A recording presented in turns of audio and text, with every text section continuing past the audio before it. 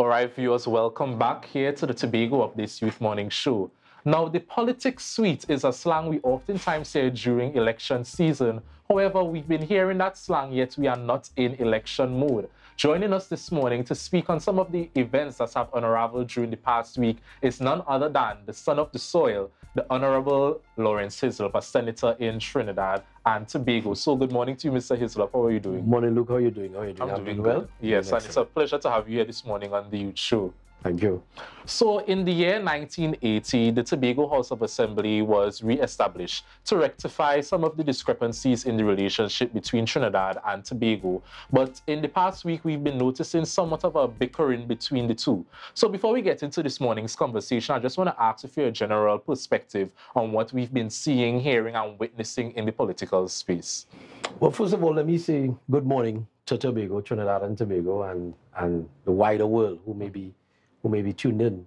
Um, I, I, like the word. I don't like the word bickering mm-hmm. um, because I don't think I don't think there is bickering. I, I, I think um, politics is is is about positioning, is about um, service, or it should be about service first. Um, and so, when you have a challenge, when you have a situation where two opposing parties in our structure um, is, is in governance, one in Tobago and one in Trinidad. Um, you would not, things may not always go as smoothly as you would like it to. Um, there will always be, even in, even in common relationships, you always find the challenge that, um, as the old people say, teeth and tongue will meet at times. Uh, but it's how you navigate around those situations that makes the difference. And um, what's happening in the in the in, in, in Tobago and Trinidad and Tobago is in some regard unfortunate um, because I honestly don't see the need for any quote unquote bickering. Um, but uh, some powers that be think that it is necessary for them to bicker, but I, I, I don't see the need for the bickering.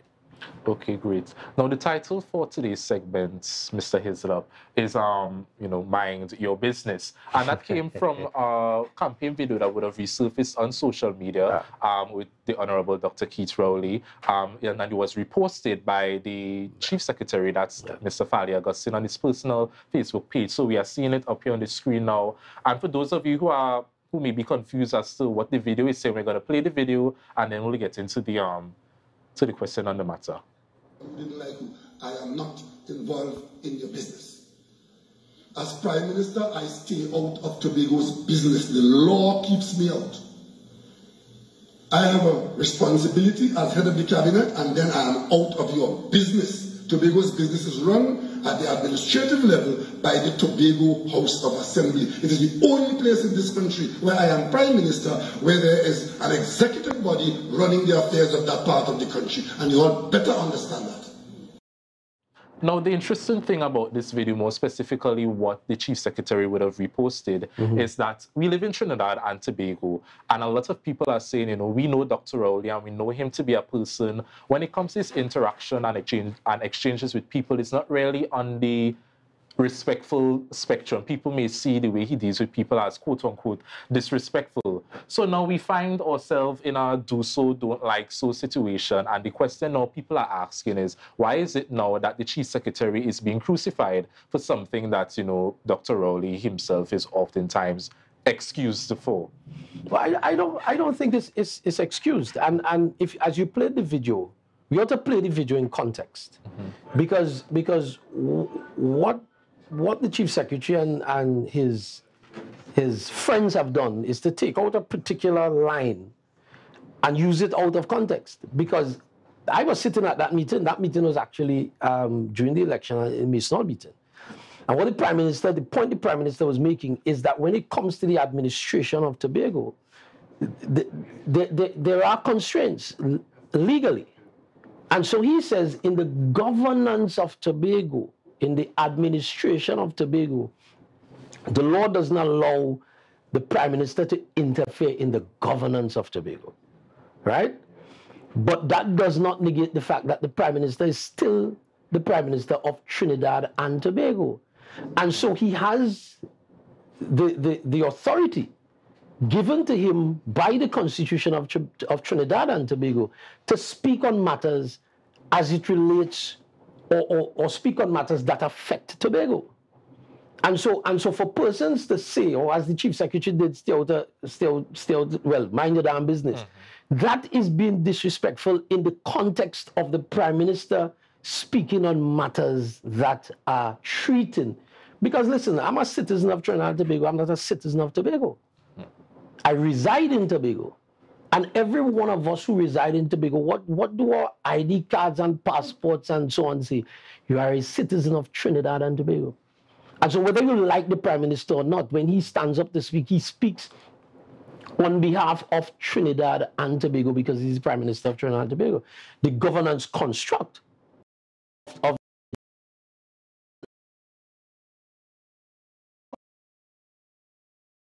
him to get involved in the day-to-day operations of the governance of the island of Tobago. But at the end of the day, when, when Dr. Rowley steps on our platform, when he steps out of, of Trinidad and Tobago, who does he represent?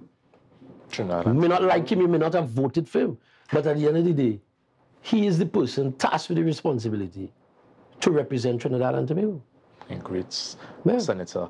And um, you would have said that he speaks on issues affecting both Trinidad and Tobago, yeah. and he would have done a, done a press release, a really long nicely structured press release. And then we saw again that it was being misconstrued in a manner of speaking. Mm-hmm. And then the question came up now in the Tobago spaces, did we vote for a party or did we vote for people? Because we are now in a circumstance where the independent representatives, they were members of the PDP, mm-hmm. they would have campaigned on issues affecting Tobago, and then um, some were removed, and then the other resigned themselves from the party and now they were independents. But they formed a new political party, and the question now is with the formation of the new political party, the mandate is now coming into play. Are they going to use the old mandate? Um, I think Max James would have said that the mandates still can be used because it's still the same people. Um, they did not quote unquote change. Mm. Farley is still Farley, the independents are still the independents. But from a political perspective, this is a new party. They are no they no longer identify as the PDP. So the question now is, is that the main reason why a fresh election may have to be called? Because they obviously can't use the mandate they used when they were under the PDP banner. Let me let, us take it let's take it from this perspective. And I'm I'm not here to quote sections of, of of acts and constitutions. We're dealing with, with, with direct talk. Mm-hmm. Let's take it from this, from this perspective, from a governance perspective. You know, this is this this if this happened on the national level, this would have been considered political instability.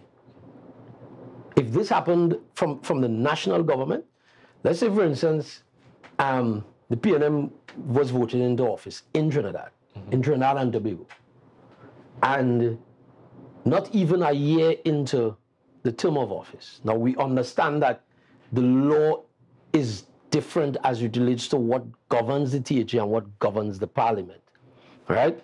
But let's just, let's just put that aside for one minute. If this happened in Trinidad, it would be considered political instability. And when you have political instability within a country, how, how, do you, how do you think your trading partners and your your allies see you. Okay. They see you as as as as unstable. They see you as a as a as a people who can't manage. And so when you take that into the context of what is happening in Tobago, granted that the THA Act allows for it, and and and and truth be told, it's, it's, a, it's, a, it's a unique perspective of, the, of, of, of governance in the world. But something like this doesn't augur well for governance. Your system, your, you look unstable, your governance structure looks unstable, and, and, and the business the business entities within your within your, your governance space, they don't take you seriously. And so investment is stymied. Because if we can't trust, or, or, or, if, we, or if we see instability in the political element of a, of, of, of a country, of an island, then then then business is stymied because people are afraid to invest. Mm. Because we don't know what's going to happen tomorrow. Because that's what we faced with. Whether whether the whether the independents remain in the executive council we don't know what's going to happen in the morning because the truth be told they, they, they won the election because you could go into the into the records of the of the EBC what do the records say mm-hmm. the records say that Farley Augustine, Zia Hackett won the election under what? PDP. Under a PDP ticket. And so if you've won, the, if you came to the people under the banner of the PDP, these people did not campaign individually. And, and, and let, me, let me say to the citizens of Trinidad and Tobago, we, the PNM is not afraid of elections. From its inception, the PNM has contested every election and every seat that has been held in this country. And so, and so it's not about the PNM being afraid of elections. Because if an election is called tomorrow, the PNM will go back to the polls tomorrow. And if the people give, the, the, whoever the people gives the mandate, the PNM will do what it has to do, whether it is in government or in opposition. And so, and so the issue here is about the stability of the governance of an island.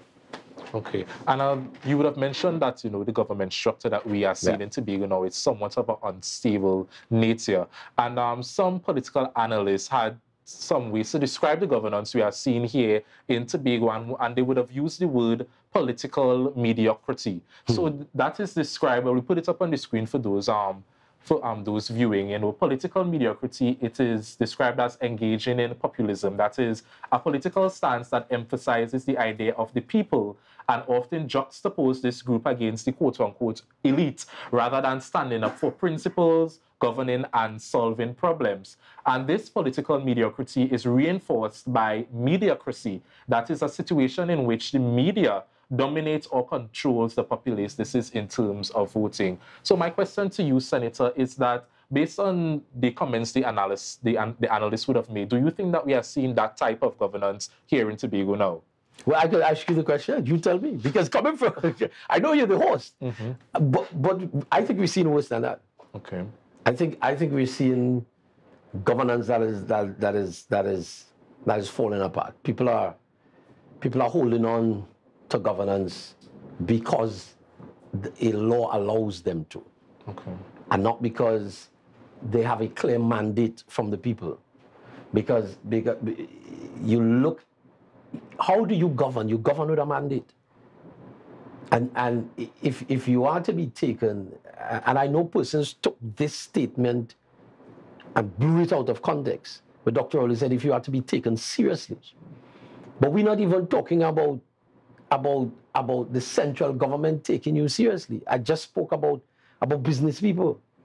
Because because no businessman worth his salt could be comfortable with, uh, with, with, what is being what's, what's happening in Tobago because you never know if we're coming or going, and no businessman who's worth his salt, who's been profitable, could be happy with a with, with a with a system that doesn't know whe- whether it's coming or going.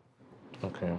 And um, you would have noted that Mr. Rowley's statements have been blown out of proportion once again. And you know, he would have said to call the election. These are three words we've been hearing in both Trinidad and Tobago. Call the elections. We're hearing it at a local government level. We're hearing it in general elections. And most notably, we heard it from Dr. Rowley in terms of calling the THA elections. But people are somewhat confused as to why he's saying call the elections when local the local um, elections haven't even been called. So do you think it's somewhat hypocritical for Dr. Rowley to instruct or somewhat suggest that, hmm. you know, the THA called the election while he still has, you know, elections that are in limbo in Trinidad? I don't I, I don't see, I don't see elections in Trinidad as being in limbo.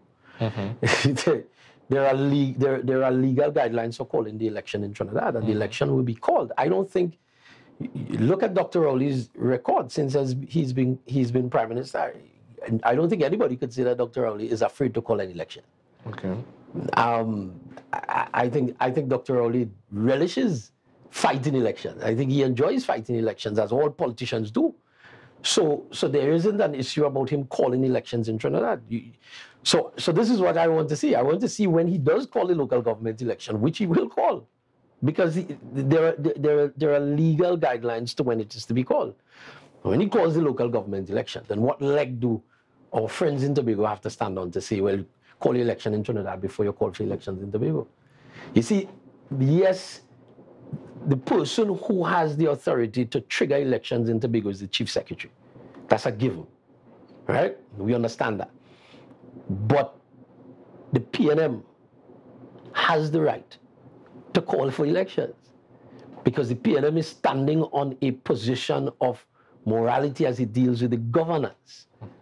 The same way, the same way when when things happen in, in, in Trinidad and Tobago, the opposition calls for, for, for elections. The opposition was in the Senate yesterday. The, the opposition is calling for elections every day. All right? And so and so the, Dr. Rowley will call the elections in Trinidad within the legal framework of when elections are to be called. And they will be called, they will be contested. And Senator Hislop, that brings another question we hear on the ground in terms of morality. Mm. You, you, know, people will view it as okay, the PNM was in power in Tobago for 21 years. Um, they would have apparently failed on the job. That's why the Tobago people would have voted for something different. So people will ask the question, you know, what right, what moral ground does the PNM has to even, you know, provoke, try to um, provoke an election, try to call an election? What moral ground does the PNM have to, you know, say these things and, you know, call an election? Here's about 15,000 people that voted for the PNM, right? Okay. And so, and so that gives the PNM right there the moral authority to call for elections. Okay, the numbers. The people that the people who support the PNM, the people who voted for the PNM. And so, and I, and, and I hear this narrative, we, we, this narrative has been beaten from, from here to whenever, uh, about the 21 years in, in, in, in, in office. The reality is that the people of Tobago voted back in the PNM consecutively. That's why, that's why the PNM governed for 21 years. We got to a point where the people said, we need a change. And that's fair. That's what democracy is about. And so the PNM fought the election, lost the election, and went into opposition. The, the, the, we are no strangers to opposition. Because the PNM has been here from, from, the, from the birth of this country and will continue to be here and has proven over the years that we are the best option. Because whenever, whenever there is a falling out, a disagreement with the PNM. Mm-hmm. Now you vote out the PNM. What happens after that? After the five-year term of a government that came in, that replaced the PNM, what happens? Senator, and um, I think this is would have been a question more fitting to ask the Prime Minister himself. Mm-hmm. But the question is now, you know, um, explain the legal time that has passed and it was delayed for the local election. And um, they are saying that, you know, a complaint oftentimes was raised by the UNC if the time has quote unquote passed for the local election.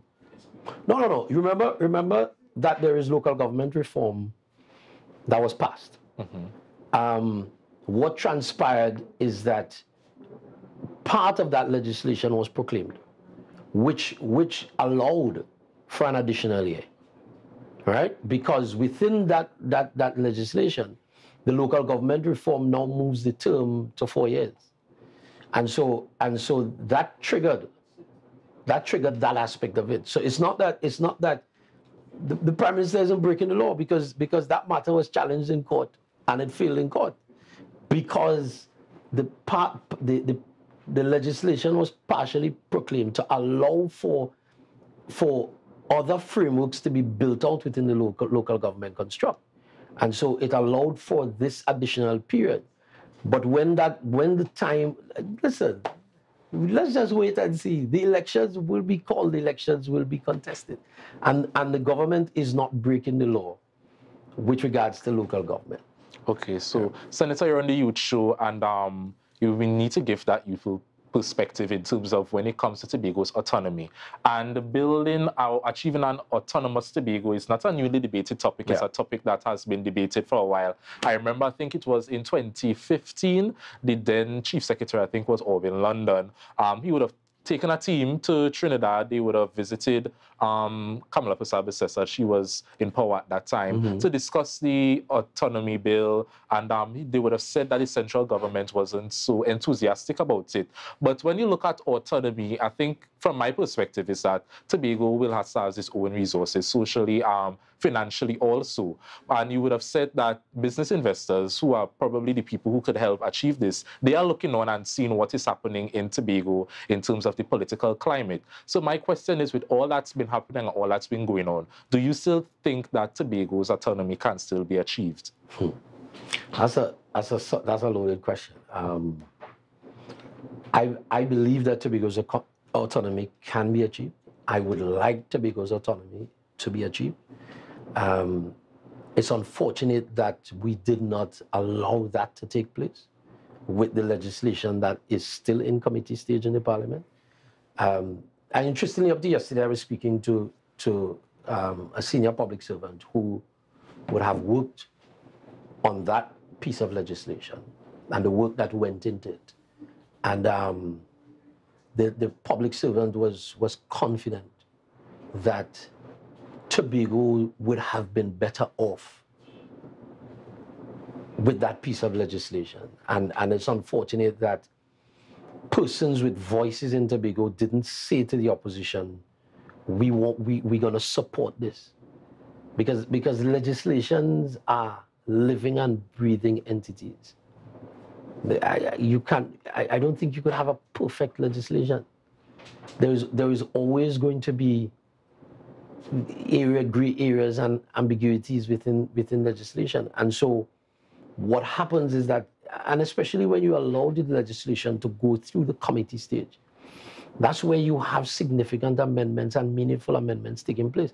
I, I, I tell you, if that, if that had gone to the Senate, and you had the input of the independent senators, um, the, the, you, you would find that you would have additional amendments that would that would make the legislation more robust, that will make the legislation more, more meaningful. But what I'm saying is that we missed an opportunity.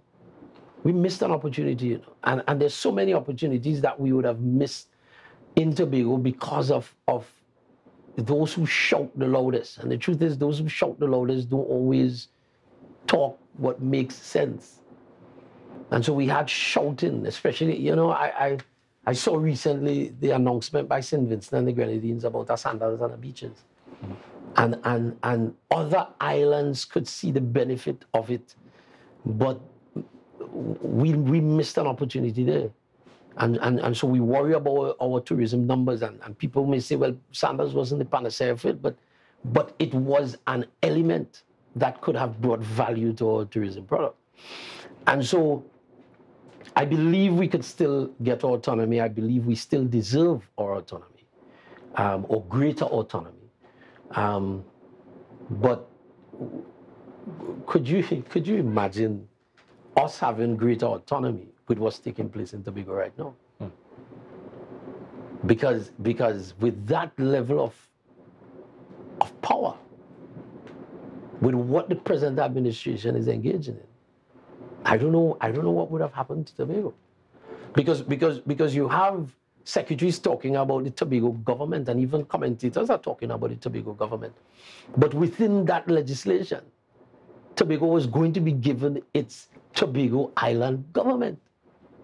That is what the THA was going to move from. And then on top of that, the, the, the, it would have been enshrined in the Constitution.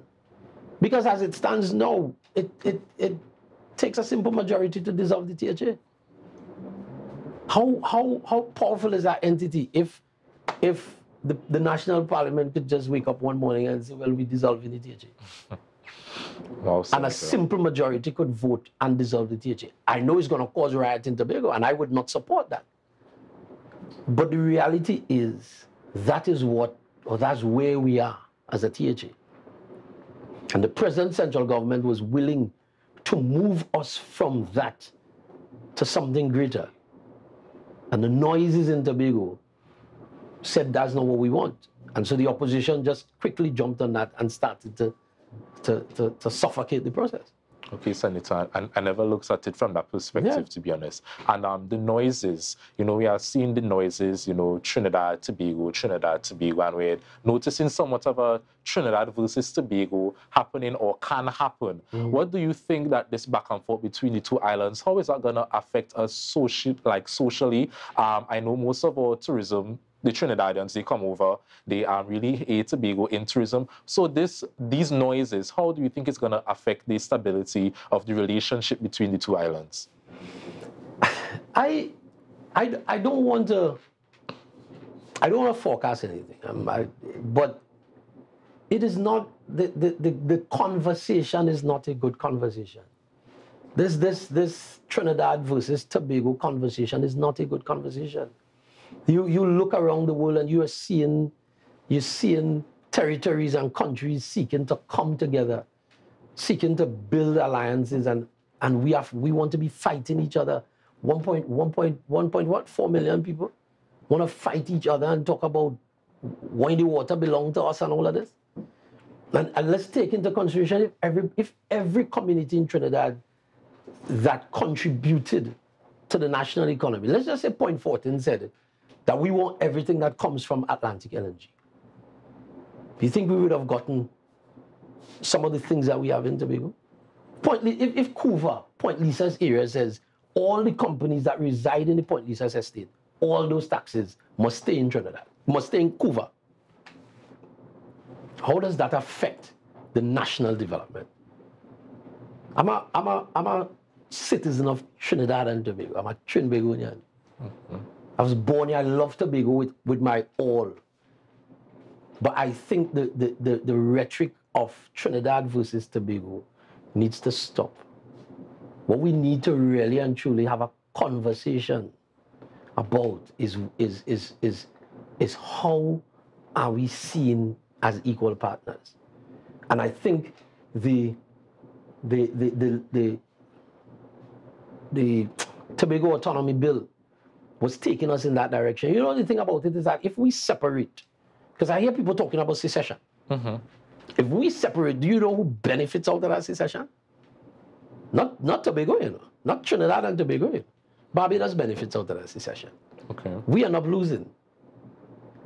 And and and we may we may think that we will be we, we will be better off.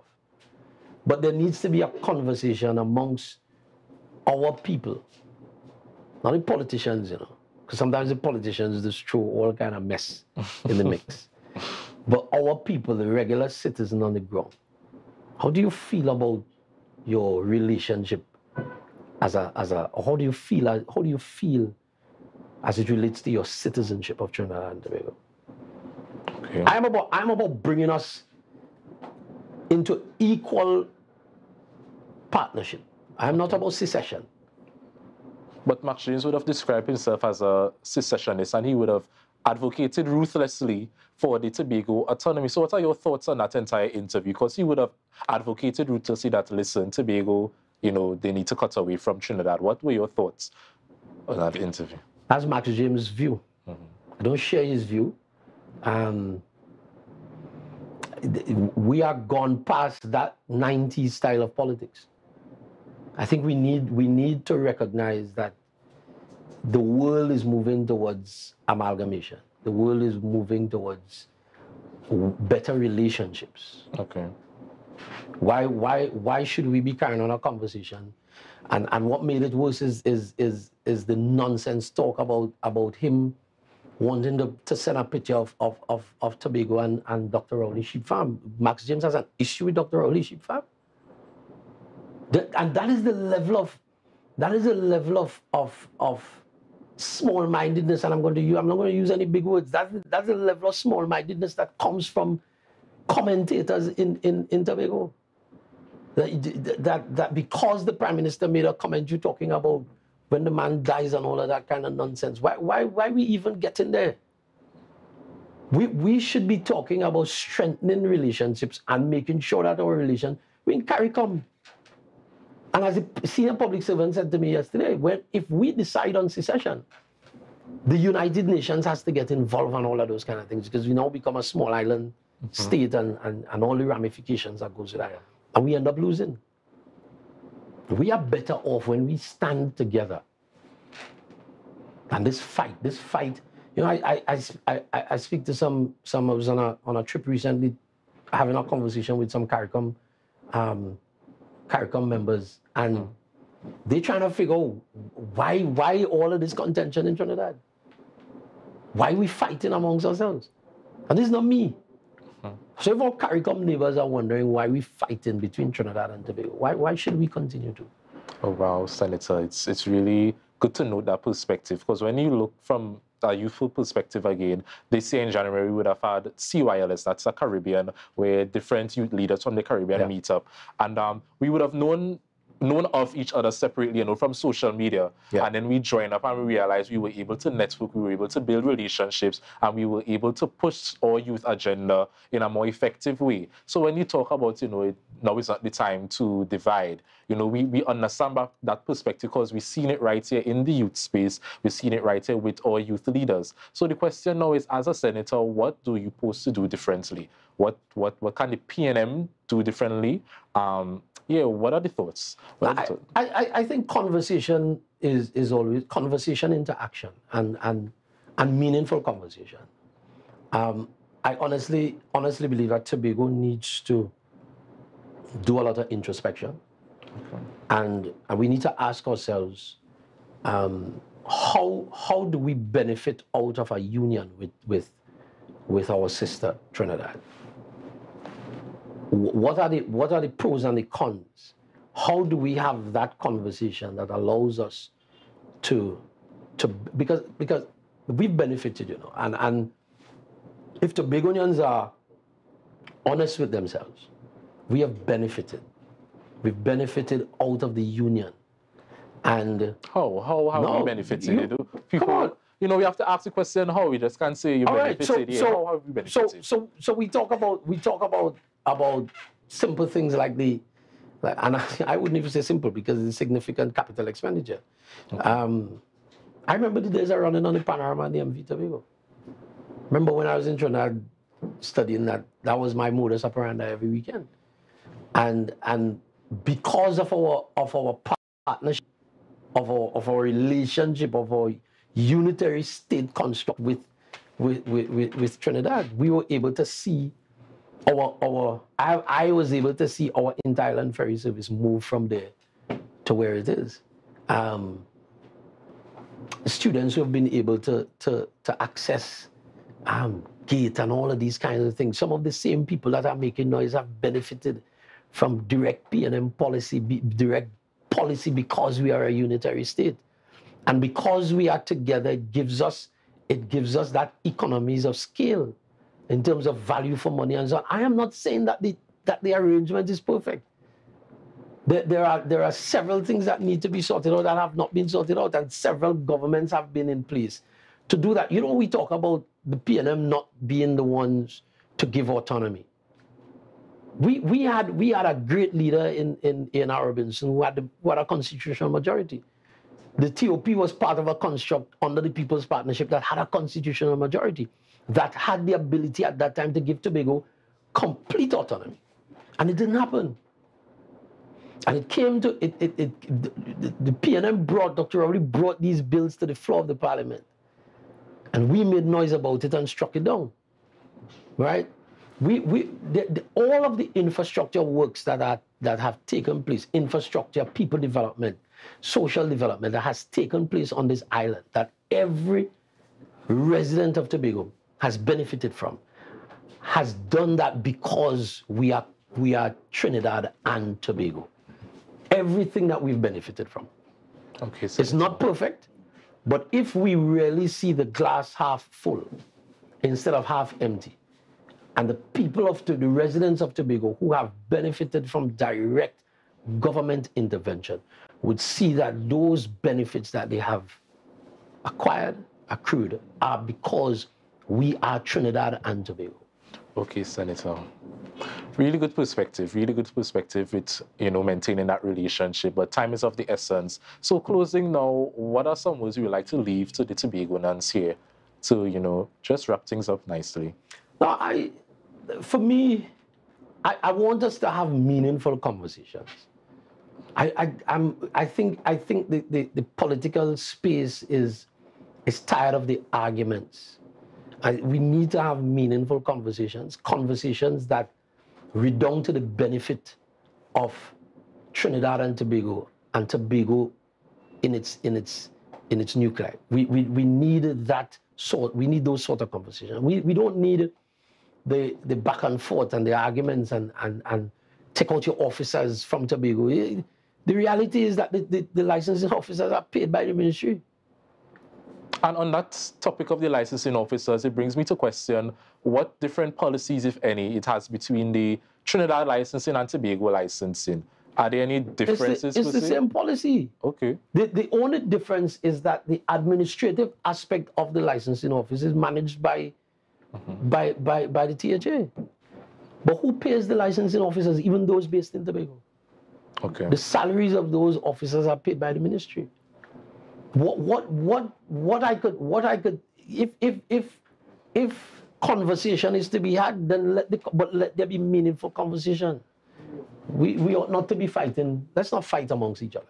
Okay, Senator. So I'd like to really thank you for joining us here this morning on the Tobago Updates Youth Morning Show. You know, some people are even questioning, are you even going to be a prospective candidate for Tobago East? I think it's too early to ask, but people are wondering, are you going to be a prospective I'm candidate? A senator, I'm a senator in the Republic of Trinidad and Tobago. Okay, great. All right? The only person who holds the future is God. And we leave that, we leave that, we leave that right there. All right, Senator. So thank you once again for joining us on the Youth Show. You know, show the interview there were many times I wanted to interject, but um, I always tell management, you know, if they want us to have that conversation, let's have a debate. And I don't think um, that type of conversation is fitting for you could, an you interview. Could, you could have interjected, but I don't have a problem with, it, with okay, well, next time I'll know to, you know, be ruthless with, with, with the interview. no so problem. I want to thank you once again, Senator, for joining us this morning, for sharing your perspective on what's been happening in the political space. So viewers, that was Senator the Honorable Laurence Hislop. Um, don't go anywhere yet. Remember to share the live, share the live, share the live. We'll be right back to highlight what happened over the Jazz weekend.